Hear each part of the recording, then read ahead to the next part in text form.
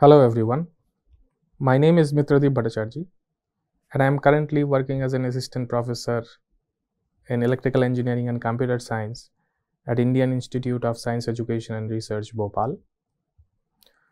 I am going to offer a course related to sensor technologies.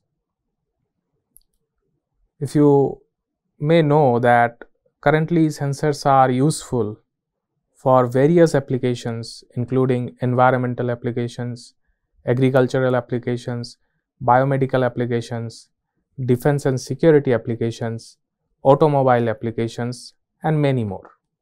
In each of these sectors, you will see that there are variety of sensors that usually people use in order to make things smarter.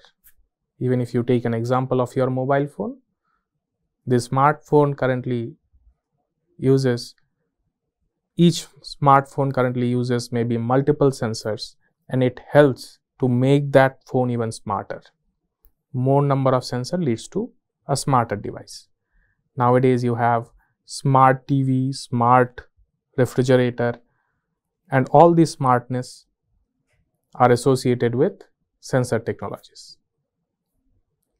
In this course, I am planning to cover the entire spectrum of sensor technologies right from sensor physics to sensor fabrication to sensor circuits.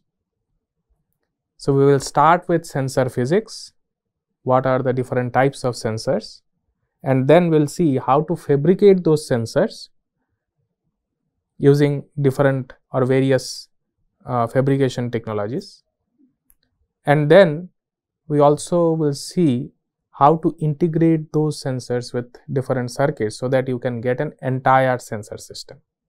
The purpose of this course is to provide you knowledge about the entire spectrum of sensor technologies and I hope that you will like this course and you'll gather enough knowledge so that after this course you can make your own sensors or sensor systems for certain application.